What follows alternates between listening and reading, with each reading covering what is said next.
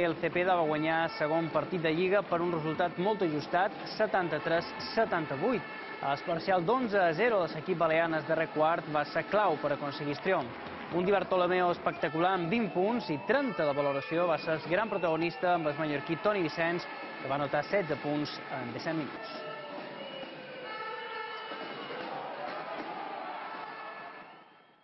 Creo que hemos empezado muy bien. Eh, jugando al ritmo que queremos jugar, rápidos. No creo que haya habido un equipo dominador, creo que ha habido muchas fases, pero que en el momento determinante del partido hemos estado nosotros más, más, más clarividentes.